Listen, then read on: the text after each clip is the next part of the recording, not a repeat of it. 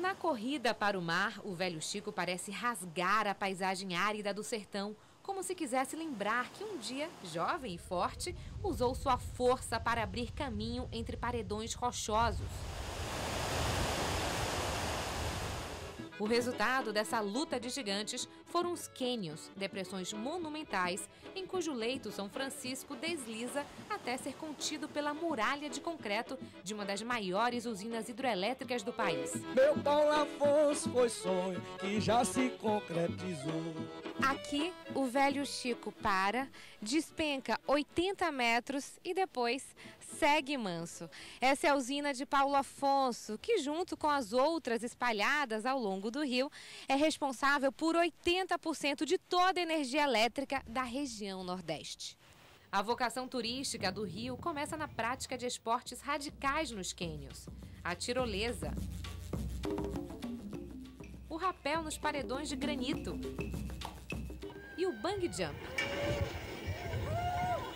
Quem é nativo se satisfaz com saltos sem tanta tecnologia. Pode-se incluir entre os passeios o lazer descontraído em uma das praias do Rio.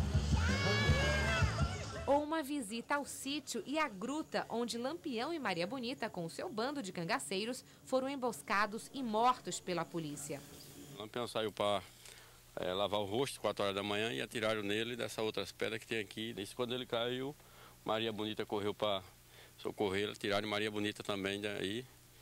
E os outros foram mortos aqui mais na frente, aqui desse lado aqui. Nas feiras livres das cidades ribeirinhas, onde se chega de barco ou de caminhão pau de arara, produtos da terra, artigos de artesanato, bicicletas de aluguel, chocalhos para o gado e potes de barro. Mais tarde, em Penedo, uma das cidades dos tempos coloniais, seríamos recebidos pela Chegança, o grupo folclórico dá boas-vindas aos visitantes.